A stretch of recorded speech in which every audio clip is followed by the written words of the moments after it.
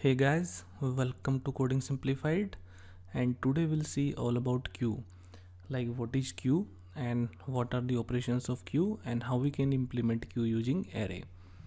So let's see about queue. So queue you can take basic example of like cinema hall queue whenever a first person enter he get the ticket and then he get out right so and, and it keep on going on so the queue works on concept of FIFO first in and first out. Whoever ent enter first it gets first out. So now uh, you can say if this is a queue so basically you are uh, enqueuing so the first operation is enqueuing means inserting element in a queue so when you insert element in a queue so you have a you have a fixed size of queue in array right so you can say like if i have the maximum size 5 it means you can store maximum 5 element in a queue.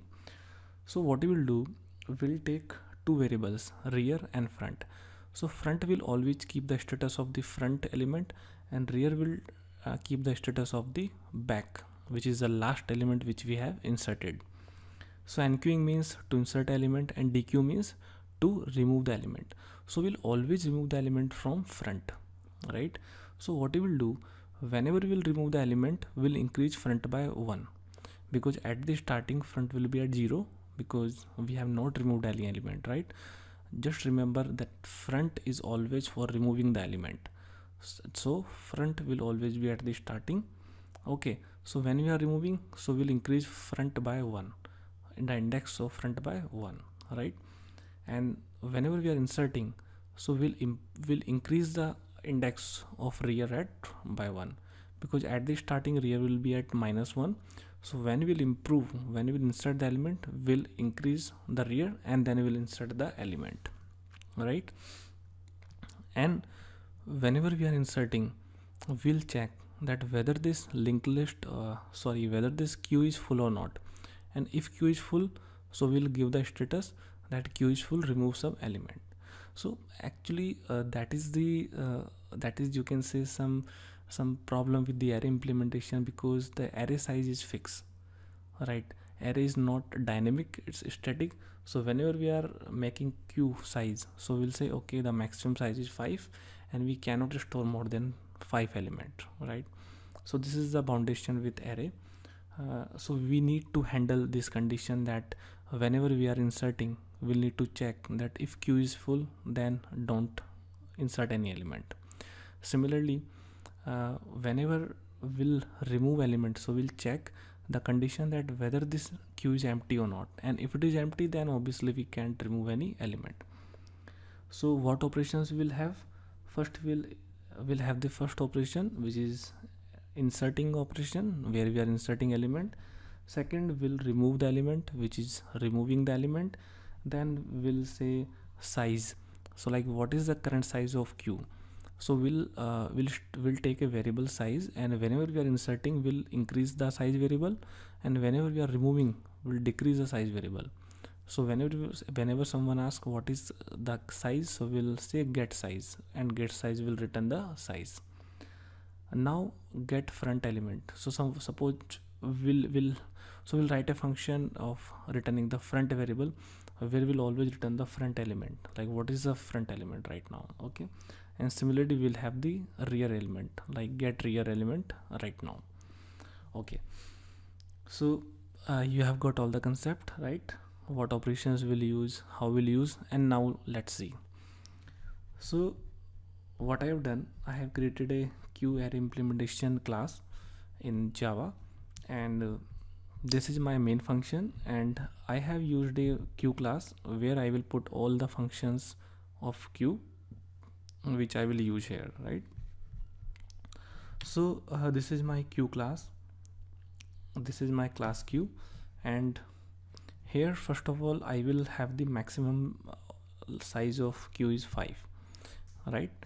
And now I, I have kept I have kept front as 0 and rear is minus 1 and size is 0 because starting size is 0 and then I have created an array where maximum uh, length is maximum which is 5 right?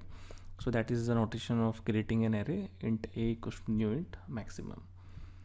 Now we'll now we are checking that is full that whether the queue is full or not. So for that i have uh, i have written a function is full and i'm checking if size equals to equals to maximum then return to else return false right? And this is my inserting function so whenever i am inserting i am checking first of all that if my queue is full or not. If my queue is full then we'll say queue is full remove some element and then simply return. That's it. Now if queue is not full so we are saying first of all increase the rear. So like at the starting rear will be at minus 1 right? So first of all we are saying rear plus 1 so that will be 0 and then remainder maximum now you will say why remainder why remainder to maximum?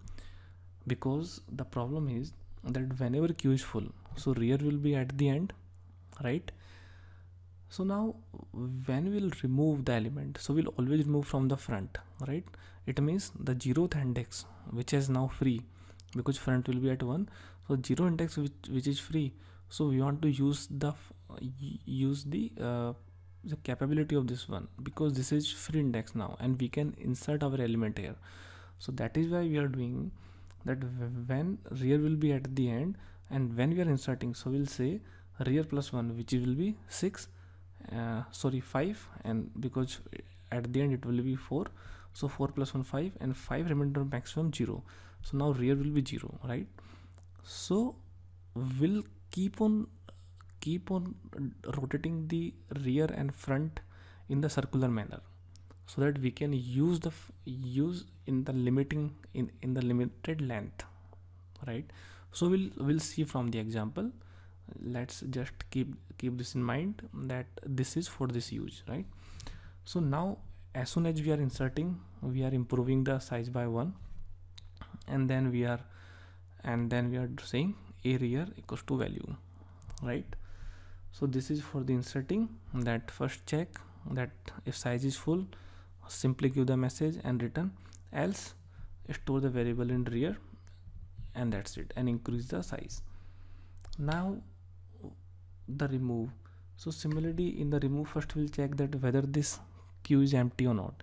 So empty is same. If your size is zero it is true. Else it is false so we'll say if queue is empty then nothing to remove and return minus well. Now similarly whenever we'll whenever we are uh, removing any element so we are saying that first of all like this is your front and now after removing the element say front plus one. So yani increase the element increase this front from here to here? Because I have removed this one so now front is here right so this is is empty and remove. Now you can simply give get size which is return size and get front. So get front is a function which which will give me the front element. So this is very basic. First i will check that my queue should not be empty. And if it is not empty then simply return a front. Similarly with rear that if my queue is not empty so simply return a rear right? So now let's see that uh, how this is working. So let's put a debug point and let's check here. So first of all it will go here.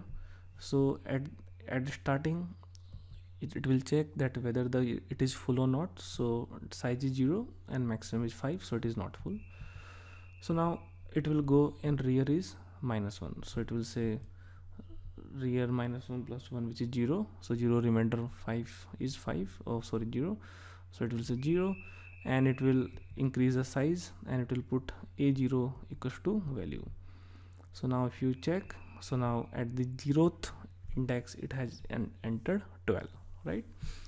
So now um, let's see second element. So again it will check that whether this is full. So queue is not full. So now it will improve rear. So now rear will be at 1 it means and size is plus 1 and now it will store at first index. So now you can see 12 and 2 right? Similarly it will store 7 27 and 18 because whenever we are inserting we are inserting at the index rear right? And front is still the same.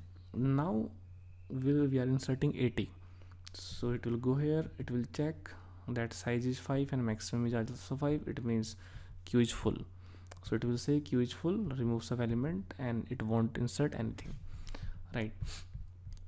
So now let's say if at this position you want to check that what is the size. So you can say get size right? And uh, so you can say size here so if you run the function so it will say sizes because this was for the 80 and this will say size is 5 now let's see if you want to check that what is front element. So a dot get front. So if you run the function so it will say front is 12 which is right. Now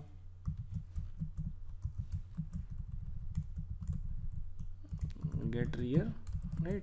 So let's put a debug point here and let's see that how this these are working. So let's say if I go here in get size it will it is simply returning me the size right? So size is 5 that is why it is returning me 5 now get front. So first it is checking that whether this is empty or not. So empty means if the size is 0 is not. So size is not 0 it means it will return a front which is the front element which is 12 and rear again it will check whether the size is empty or not. So it's not empty. It means it will return rear which is the last one. So it will return 18 right? So now let's say if I remove element now. So I will say removed element. And here I will say remove. Okay so now let's put a debug point here because we are removing element. So first it will check that whether the size is empty or not whether queue is empty or not. So queue is not empty. It means it will go here now it will check what is the front element. So front is 0 that's what we want to remove. And when we are removing so we'll decrease the size by 1 and we'll return a front. So which is 12 right. So my first element was 12 so it is removing 12 right. And now at this point if you check again this. So if you run this so now you can see that it has been changed and that uh, the removed element was 12 right? So now size is 4 front has become 2 and rear is same because rear is at always at the end right?